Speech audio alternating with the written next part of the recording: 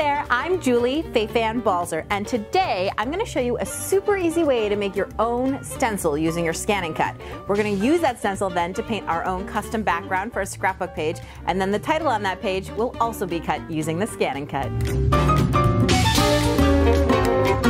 So I'm going to show you a super easy way to make a stencil and I'm using black cardstock. Now if you're like me and your cardstock is textured on one side and flat on the other, then you want to make sure to use the flat side up.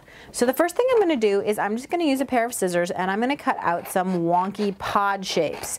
Now one of the things that I like about cutting out shapes as opposed to drawing a stencil is that there's some sort of serendipity. You know, sometimes you end up with a design that you wouldn't have if you had drawn and you can't really be as perfect when you're just hacking around with a pair of scissors. You kind of have to embrace the imperfection of it all. So one of the things that happened to me when I was starting to design this stencil, and I want to share this with you because I think it's kind of fun, is I had all these pod shapes and I have a couple here that I've already cut out to show you. And I started to try to arrange them onto my white piece of paper, thinking about what I wanted my stencil to look like. Did I want it to be a flower or some kind of flowing thing?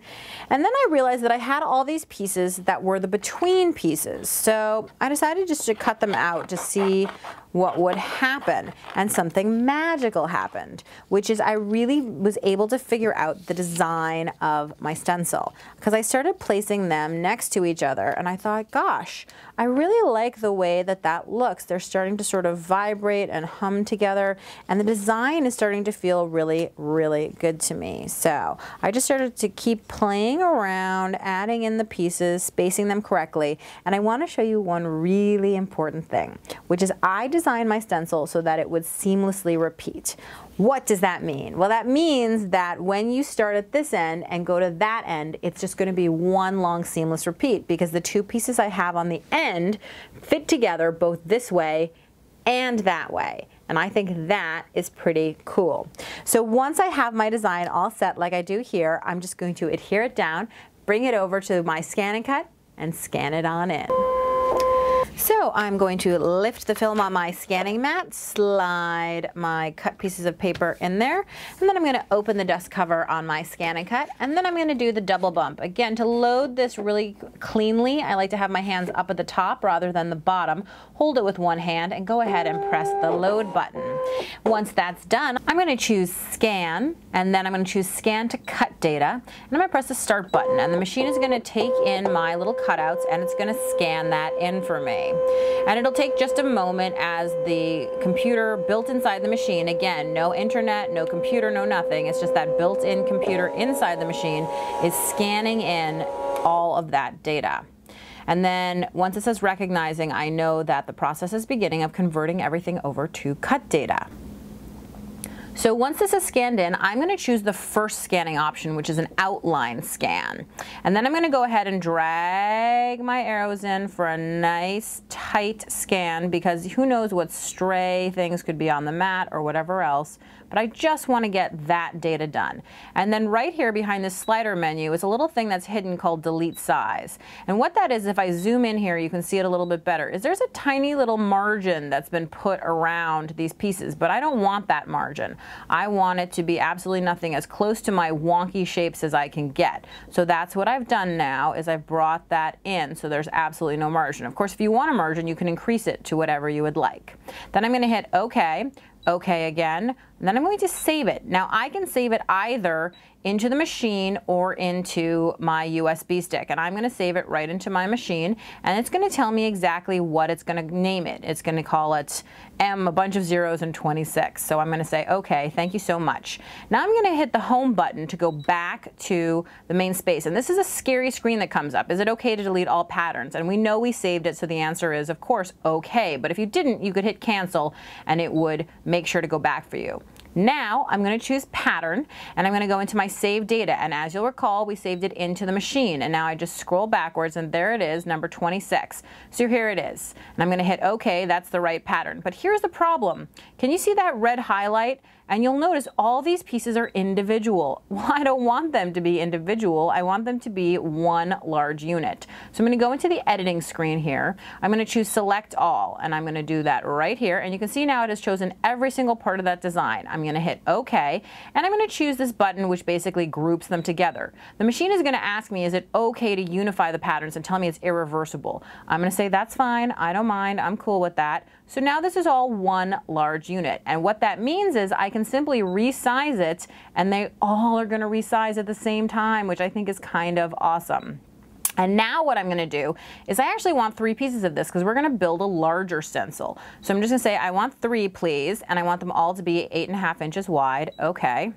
And now I'm going to get three of them and I can just drag them apart now and I can lay them out however I want. Now, if I want to nudge them a little, I can use the arrow keys in here to do a little bit of nudging. I can zoom in to see if it looks like how I want and I can just continue to play with it until this design is exactly what I want it to be. And that's one of the things that I love about the ScanNCut is that you always have the possibility of customizing absolutely everything. Okay, now I kind of like the way that this is laid out. It looks cool to me, but you know what, again, these are three separate pieces. What if I want to resize them as one? Well, I'm just going to go back to that select all function. There we go, it's all selected. I'm going to unify one more time.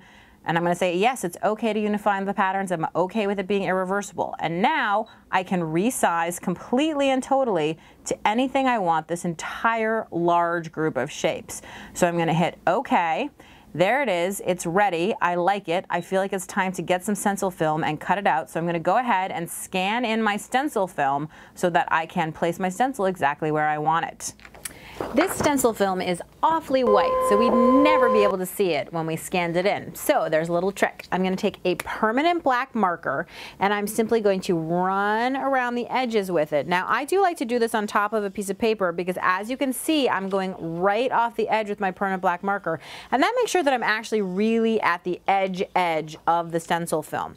And of course if you have a stencil film that's blue or some other color you don't have to worry about this but this is just a trick to help that scanner actually be able to see what we're doing. So then once the pen on this dries, we're ready to take it over and scan it in. And I could apply it anywhere on the mat I want because of course the built-in scanner is going to help me with that. And I'm just taking my spatula tool now to really smooth down that stencil film and make sure that it's absolutely stuck to my mat. I find that doing this just makes sure that I don't have any accidents when we actually start cutting. I'm going to open my dust cover and then I'm going to place two hands at the front of the mat and I'm going to bump it up there to make sure it's going to load in properly. Hold it with one hand, press the load button, and in we go. And now I'm ready to hit the scan button and let's scan this.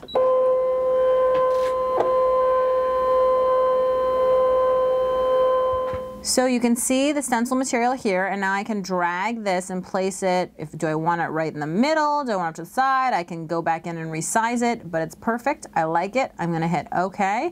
I'm gonna hit cut and I'm gonna make sure my blade is at the right depth and we are going to cut it.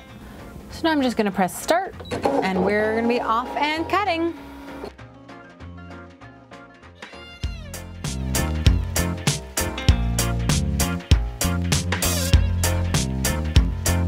So it's finished cutting. I'm going to hit OK. I'm going to unload my mat, pull it out, and now I'm ready to pull my stencil off of the mat. So if I need my spatula tool, which is sometimes helpful, I can just bend the mat, get the spatula under there, and then here we go. I'm going to rip it off. And if there's any little pieces that are left inside, it's easy enough just to take a minute to poke them out. They should just come right out of there, no problem. And then my new stencil is ready to use.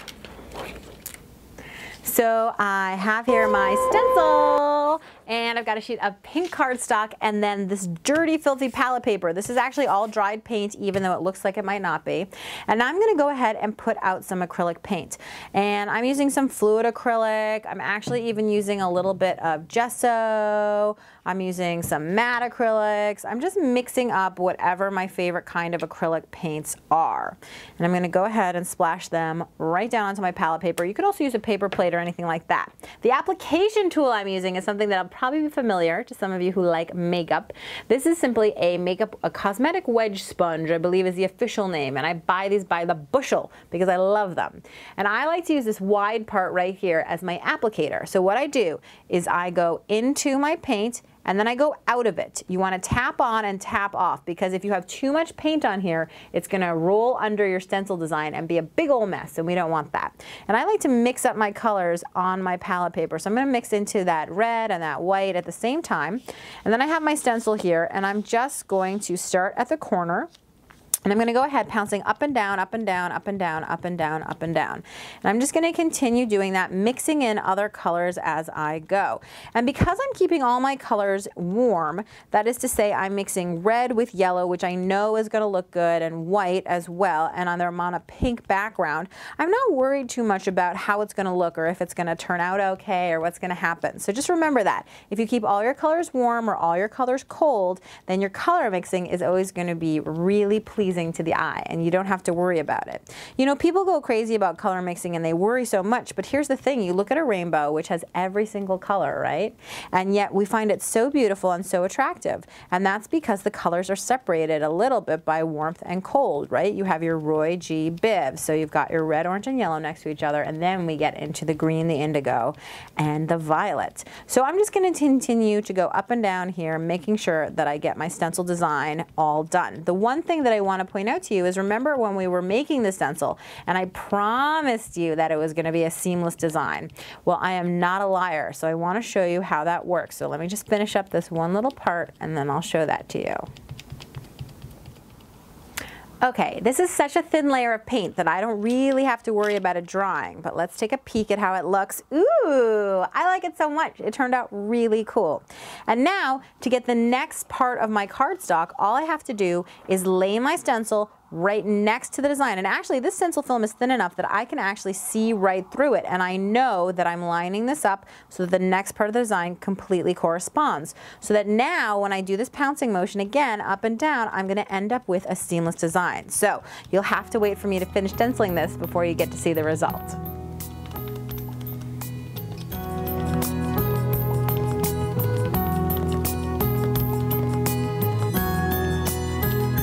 So now Ta-da! It's totally awesome and completely seamless. It looks fabulous. So now all I have to do is I have to finish the rest of this page just by putting my stencil and again I can see right through it so I can line it right up and know that I'm going to have a seamless design that continues on.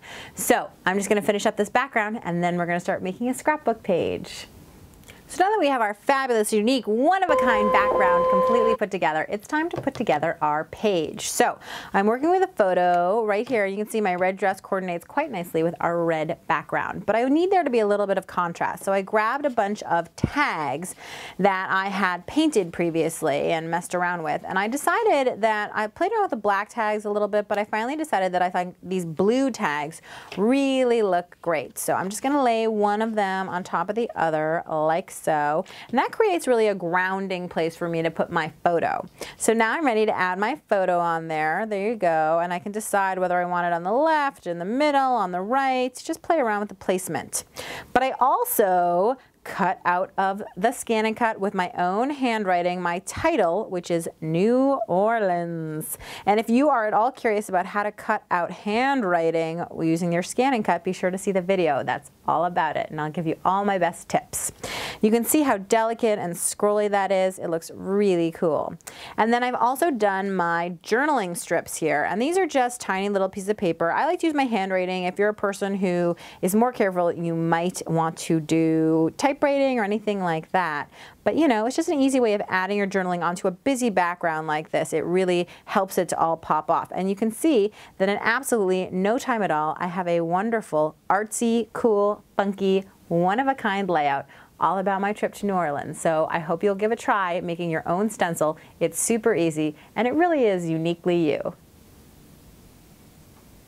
For more tips, tricks, and tutorials, please stop by my blog at balzerdesigns.typepad.com. And of course, you should check out the ScanNCut website for lots more information, videos, and facts about the ScanNCut. And that's scanandcut.com. Thanks so much for watching.